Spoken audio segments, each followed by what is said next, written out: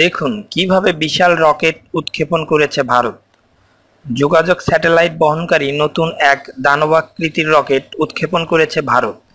দেশটির মহাশূন্য গবেষণা প্রতিষ্ঠান India source resource organisation, GSLV mark three নামের এই রকেটটি উৎক্ষেপণ করেন। ভারতের এই রকেট উৎক্ষেপণকে গেম চেঞ্জার হিসেবে উল্লেখ করেছে দেশটির গণমাধ্যম। খবর জি নিউজ ও টাইমস অফ ইন্ডিয়া।